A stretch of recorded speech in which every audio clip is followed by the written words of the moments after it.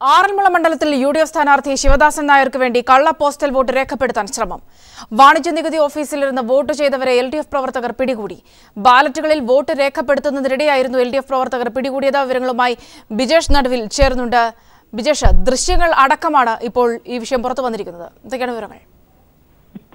തീർച്ചയായിട്ടും സൗമ്യ ശിവനാഥൻ നായർക്ക് വേണ്ടി അബ്ദുൾ ഹാരിഫ് വാണിജ്യ നികുതി ഡെപ്യൂട്ടി കമ്മീഷണർ ഓഫീസിലെ മാനേജറായിട്ടുള്ള അബ്ദുൾ ഹാരിസ് ബാലറ്റ് പെട്ടിക്ക് പോസ്റ്റൽ ബാലറ്റുകൾ പെട്ടിക്ക് നായർക്ക് അനുകൂലമായി വോട്ട് രേഖപ്പെടുത്തുമ്പോൾ അത് പിടിച്ചെടുത്തു എന്നാണ് ഇടതുപക്ഷ പ്രവർത്തകർ പറയുന്നത്.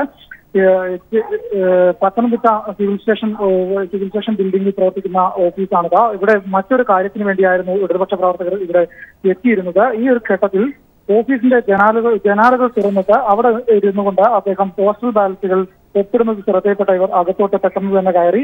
കയറിയ സമയത്ത് ചെയറിന് കസേരയ്ക്ക് താഴെയായിട്ട് സൂക്ഷിച്ചിരുന്ന നിരവധി ബാലറ്റ് പേപ്പറുകൾ കണ്ടെത്തുകയായിരുന്നു ഇതെല്ലാം തന്നെ പൊട്ടിച്ച നിലയിലും പകുതിയിൽ അധികം എണ്ണത്തിൽ ശിവദാസ് നായർക്ക് അനുകൂലമായിട്ട് വോട്ട് രേഖപ്പെടുത്തിയതായും കണ്ടെത്തുകയും ചെയ്തു. മുപ്പത്തി ആറ് പോസ്റ്റൽ ബാലറ്റുകളിലാണ് ഇപ്പോൾ ശിവദാസൻ നായർക്ക് അനുകൂലമായിട്ട് വോട്ട് രേഖപ്പെടുത്തിയതായി കണ്ടെത്തിയിരിക്കുന്നത്. അതിലും അധികം പോസ്റ്റൽ ബാലറ്റുകൾ ഇപ്പോൾ നിലവിൽ ഇവിടെയുണ്ട്. അബ്ദുൽ ഹാരിസ് കോൺഗ്രസ് അനുകൂല സംഘടനയുടെ ജില്ലാ ഭാരവാഹി കൂടിയാണ്. എന്തായാലും കഴിഞ്ഞ കുറെ നാളുകളായിട്ട് ഇവിടെ ശക്തമായ മത്സരത്തിന്റെ പ്രതീതി ഉണ്ടായിരുന്നു. ഇതിന്റെ അവസാന ഘട്ടത്തിലാണ് ഇപ്പോൾ ഇത്തരത്തിലൊരു നീക്കം നടത്തുന്നതെന്നും ഇത് ഗൂഢാലോചനയുടെ ഭാഗമാണെന്നും ആണ് ഇടതുപക്ഷ പ്രവർത്തകർ പറഞ്ഞത് അതോടൊപ്പം തന്നെ ഇപ്പോൾ യു ഡി എഫിന്റെ നേതൃത്വത്തിൽ വലിയൊരു പ്രവർത്തകരും ഇവിടെ സംഘടിച്ചിട്ടുണ്ട് ചെറിയ തോതിൽ ഒരു ഉന്തും തള്ളും എൽ ഡി എഫ് പ്രവർത്തകരും യു ഡി എഫ് പ്രവർത്തകരും തമ്മിലും ഉണ്ടായിട്ടുണ്ട്. ഇപ്പോൾ വലിയ ഒരു പോലീസ് സംഘം തന്നെ ഇവിടെ ക്യാമ്പ് ചെയ്യുന്നുണ്ട്. സംഭവം പരിശോധിച്ച് അതിൽ നടപടി സ്വീകരിക്കാൻ ഇലക്ഷൻ കമ്മീഷന്റെ ഭാഗത്തു നിന്ന് ഡിവൈഎസ്പിക്ക് നിർദ്ദേശം ലഭിച്ചു എന്നുള്ള സൂചനയാണ് ഇപ്പോൾ ലഭിക്കുന്നത്. എന്തായാലും മുപ്പത്തിയാറിലധികം പോസ്റ്റൽ ബാലറ്റുകൾ പൊട്ടിച്ച് അതിൽ ശിവദാസ് നായർക്ക് അനുകൂലമായിട്ട് വോട്ട് രേഖപ്പെടുത്തിയതായിട്ടാണ് ഇപ്പോൾ കണ്ടെത്തിയിരിക്കുന്നത്. ബിജേഷ് നടുവിലാണ് വിവരങ്ങൾ നൽകിയത്. ഭരണ തുടർച്ച ഉറപ്പാണെന്ന് ഉമ്മൻചാണ്ടി. എത്ര സീറ്റെന്ന് ഇപ്പോൾ പറയുന്നില്ല. തെരഞ്ഞെടുപ്പ് പ്രഖ്യാപിച്ചപ്പോഴുള്ള അതേ ആത്മവിശ്വാസമാണ് ഇപ്പോഴും ഉള്ളതെന്നും ഉമ്മൻചാണ്ടി. എക്സിറ്റ് പോളിന്റെ കൗണ്ടിംഗ് അല്ല നാളെ നടക്കുന്നത് ജനങ്ങളുടെ വോട്ടാണ് നാളെ എണ്ണുന്നത്. ബി ജെ പി അക്കൗണ്ട് തുറക്കില്ലെന്നും ഉമ്മൻചാണ്ടി പറഞ്ഞു. യു ഡി എഫ് ജയിക്കും. അത് മാത്രം മതി.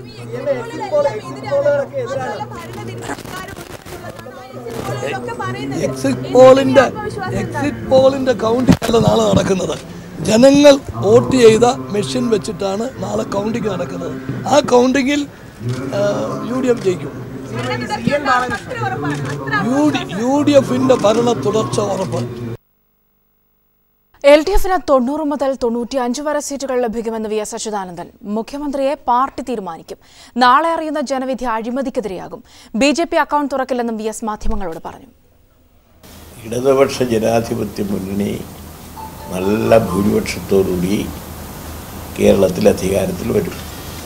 B J S B J P അവരെല്ലാം തന്നെ സ്വാഭാവികമായിട്ടും കോൺഗ്രസുമായിട്ട് പരസ്പര ധാരണയോട് കൂടിയിട്ട് പോവുകയായിരുന്നല്ലോ തെരഞ്ഞെടുപ്പിലുണ്ടായത്. അത് തന്നെയായിരിക്കും അവരുടെ നിലപാട്.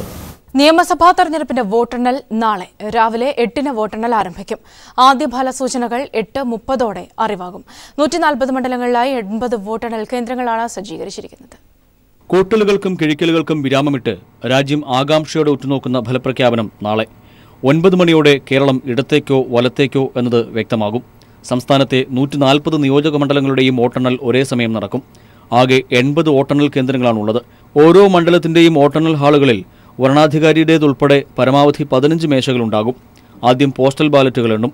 എട്ട് മുപ്പതോടെ വോട്ടിംഗ് യന്ത്രങ്ങളിലും വോട്ട് എണ്ണി തുടങ്ങും. ഒരു പോളിംഗ് കേന്ദ്രത്തിലെ വോട്ടുകൾ ഒരു മേശയിൽ എന്ന രീതിയിലാണ് എണ്ണുന്നത്. അതുകൊണ്ട് തന്നെ വിവിധ പോളിംഗ് കേന്ദ്രങ്ങളിലെ വോട്ടുകൾ ഒരേ സമയം എണ്ണാനാകും. ഒരു മെഷീനിലെ വോട്ടുകൾ എണ്ണി തിട്ടപ്പെടുത്തിയ ശേഷമാകും അടുത്ത മെഷീൻ ഓട്ടണൽ മേശയിൽ എത്തിക്കുക. ഓട്ടണൽ തത്സമയം ജനങ്ങളിലെത്തിക്കാൻ രാവിലെ ആറ് മുതൽ പീപ്പിൾ ടി വിയും സജ്ജമായി കഴിഞ്ഞു. News bureau Thiruvananthapuram. വോട്ടെണ്ണൽ ദിനത്തിൽ പ്രേക്ഷകർക്കൊപ്പം പീപ്പിൾ ടിവിയും സംസ്ഥാനത്തെ നൂറ്റി നാൽപ്പത് നിയമസഭാ മണ്ഡലങ്ങളിലെ ഏറ്റവും പുതിയ വിവരങ്ങൾ. ഓരോ നിമിഷവും പ്രേക്ഷകരിലെത്തിക്കാൻ പീപ്പിൾ ടി വി ഒരുക്കിയിരിക്കുന്നത് അത്യാധുനിക സംവിധാനങ്ങളാണ്. വി എസ് അച്യുതാനന്ദനും ഭാര്യയും വോട്ട് ചെയ്തപ്പോൾ ജി സുധാകരൻ എത്തിനോക്കിയെന്ന വാദം തെറ്റെന്നതിന് ദൃശ്യങ്ങൾ തെളിവ്. ബീപ് ശബ്ദം കേൾക്കുമ്പോൾ സുധാകരൻ വോട്ടിംഗ് യന്ത്രത്തിനടുത്ത് നിന്ന് മാറി നിൽക്കുന്ന ദൃശ്യങ്ങൾ പീപ്പിൾ ടിവിക്ക് ലഭ്യമായി.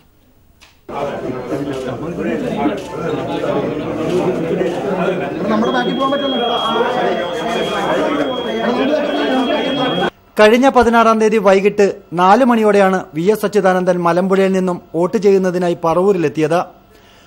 പോളിംഗ് സ്റ്റേഷനിലെത്തിയ വി എസ് വോട്ട് ചെയ്യാൻ ശ്രമിക്കുന്നതിനിടയിൽ വോട്ടിംഗ് മെഷീൻ പ്രവർത്തിച്ചിരുന്നില്ല. ഈ സമയം സഹായത്തിനായി മകൻ അരുണും സ്ഥാനാർത്ഥിയായ ജി സുധാകരനും വി എസിനടുത്തെത്തി. പിന്നീട് പ്രിസൈഡിംഗ് ഓഫീസറോട് പരാതി പറഞ്ഞതിന്റെ അടിസ്ഥാനത്തിൽ വി എസ് പിന്നീട് വോട്ട് ചെയ്തു. ഈ സമയം അരുണും ജി സുധാകരനും മാറി നിൽക്കുകയായിരുന്നുവെന്ന് ദൃശ്യങ്ങൾ തന്നെ വ്യക്തമാക്കുന്നു.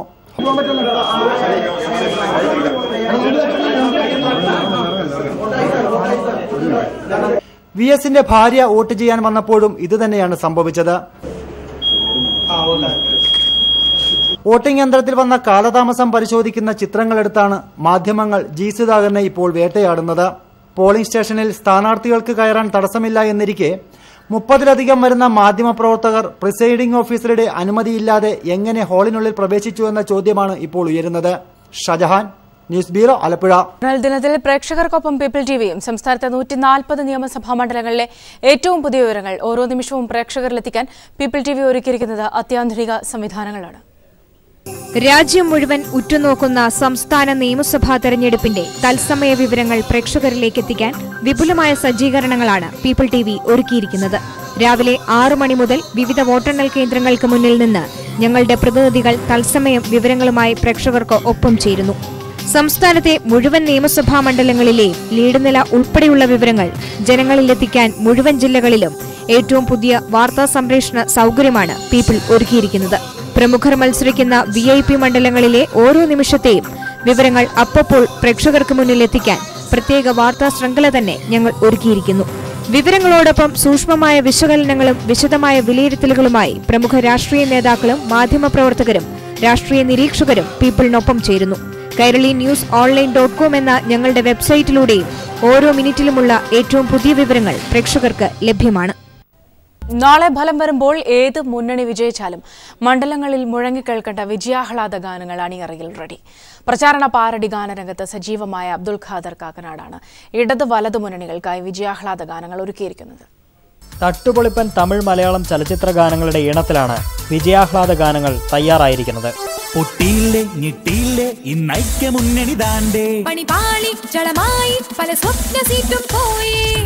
വോട്ടിന്റെ വിധിയുമണഞ്ഞല്ലോ ഭരണത്തിനെതിരായി ജനവിധിയുടെ ചപ്പിലെ മുട്ടായി. ഇതാ എൽ ഡി എഫ് വന്നു. സോളാറിൻ ചീളി തെറിച്ച് കോഴകളുടെ തോടർ പോണെ തല വഴിതേ മുണ്ടിട്ടോടുന്നേ. കൂവിക്കൊണ്ടെതിരേൽക്കാൻ. പക്ഷഭേദമില്ലാതെ ഇരു മുന്നണികൾക്കു വേണ്ടിയും അബ്ദുൽ ഖാദർ വരികൾ എഴുതിയിട്ടുണ്ട്. പോയടാ പോയടാ എൽ ഡി എഫ് പോയടാ. വോട്ടിന് തീർന്നപ്പോൾ കണ്ണീരിൽ കുളിച്ചടാ.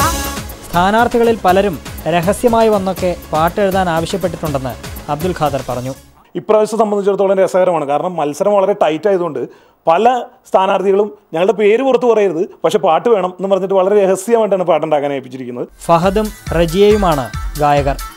തയ്യാറാക്കിയ ഗാനങ്ങളിൽ ഏതാണ് മണ്ഡലങ്ങളിൽ അലയടിക്കാൻ പോകുന്നതെന്നറിയാൻ ഇനി ഒരു ദിവസം കൂടി കാത്തിരിക്കണം. News bureau Kochi.